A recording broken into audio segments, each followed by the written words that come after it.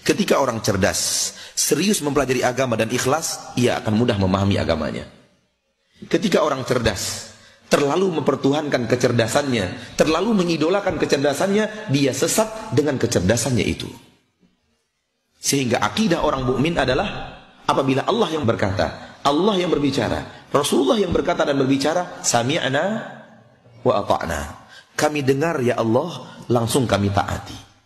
Kami dengar ucapan Rasul, langsung kami taati. Bukan kami dengar ya Allah, kami dengar ucapan Rasul, kami analisa dulu pakai logika kami, kami analisa dulu pakai kecerdasan kami, baru kami atokna. Bukan begitu. Campakkan kecerdasan Anda apabila sudah berhadapan dengan perkataan Allah dan dan Rasul. Tak mungkin kecerdasan Anda melebihi kebenaran yang diajarkan Allah, melebihi kebenaran yang diajarkan Rasulullah. Tak mungkin.